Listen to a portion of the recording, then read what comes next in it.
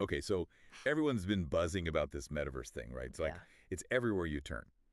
But honestly, when you really get down to it, what is it? Right. Is it just a bunch of hype or is there something, you know, really groundbreaking going on here? Yeah, I mean, is it just a fancy way to play video games, or is it something way, way bigger? Exactly.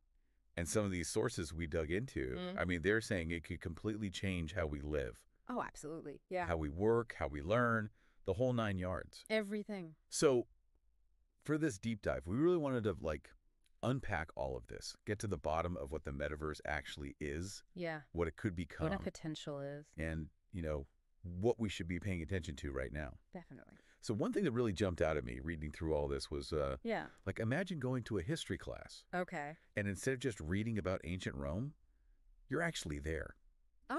Wow. Like virtual Yeah. No, that's and that's exactly what some platforms are already doing, which I think is super cool. Oh, really? Oh, yeah. No. So you've got platforms um like Rome Reborn and and they're using VR to create these super realistic like historical experiences Wow. where you can actually walk around, you know, ancient Rome. oh, that's wild. It's amazing. I, I mean, I can see how that would be so cool for like history buffs. Oh, oh, yeah, for sure. I mean, but think about it. It goes way beyond just history, Oh, right? definitely. Yeah. Like imagine um, a surgeon okay. being able to practice a procedure, a really complicated procedure in VR Oh, wow. before they ever have to, you know, do it on a real patient. Right, like a simulation. Exactly. Yeah. Or or architects being able to walk through like a 3D model of a building Okay. with their clients. Yeah, that makes sense.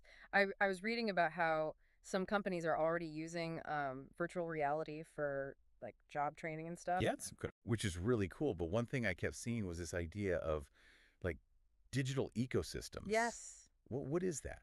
So that's a great question. Yeah. And I think it really gets at what makes the metaverse so different, right? So we're not talking about just isolated experiences like one-off things. Okay. We're talking about interconnected like virtual worlds Oh wow. where you can work, you can shop, you can learn, socialize all within the same, you know, digital space. Right. and and the way those worlds are designed how they function that's the ecosystem part of it So it's like instead of websites, it's like Yeah. these 3D worlds yeah you got it that you kind of like move between. exactly and and it's Yeah. all powered by this like crazy mix of technologies right so you've got vr and ar for like the immersive experiences Right. you've got ai to create like really realistic characters and environments That's wild. Yeah, and then you've got blockchain, which a lot of people are using to manage things like um, digital ownership and Mhm. transactions within those spaces. Okay, so that explains how it all works. Yeah. But I guess the big question is why?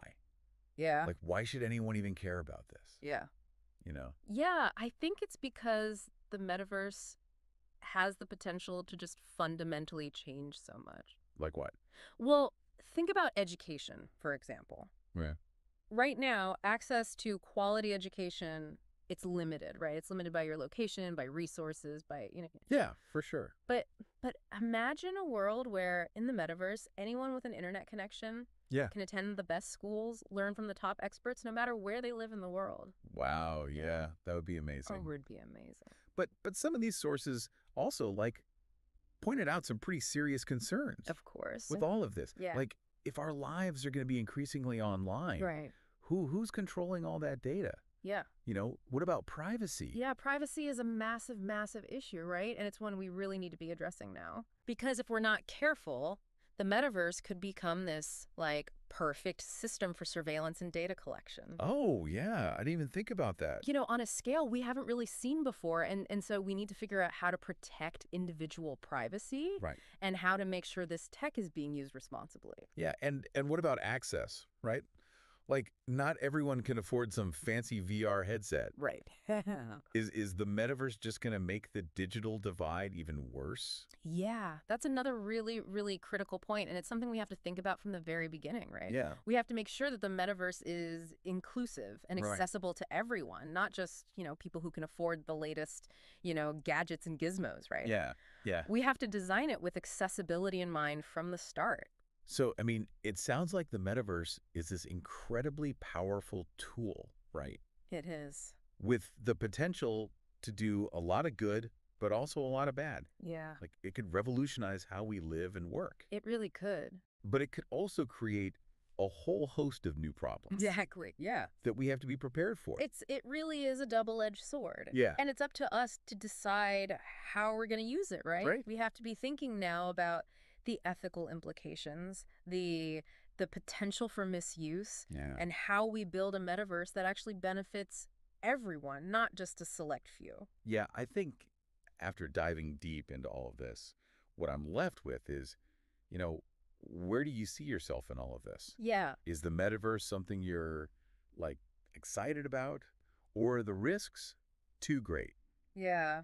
It's it's a tough one. It's it's a lot to think about and I hope this deep dive has given everyone, you know, some some food for thought oh, to to really kind of grapple with cuz it's coming whether we like it or not. it is. So we got to be ready. We do. And we got to make sure that the future we're building is, you know, one that we actually want to live in. 100% I agree. So that's it for this deep dive. Great talking about this. Yeah, this was a good one. Until next time, keep exploring. Yeah. See you next time. See ya. Bye.